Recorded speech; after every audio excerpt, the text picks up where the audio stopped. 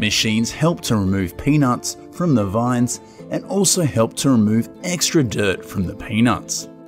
As the combine passes through the rows, it blows the peanuts into a container and spreads the dry peanut stalks back into the soil.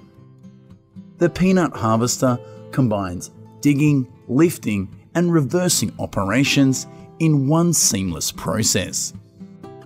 It is especially good at not breaking peanuts. The breakage rate is less than 1%. At the same time, its peanut picking rate can reach up to 98%. This saves a lot of labour costs. Not only do people harvest on land, heavy machinery can also work well in underwater environments.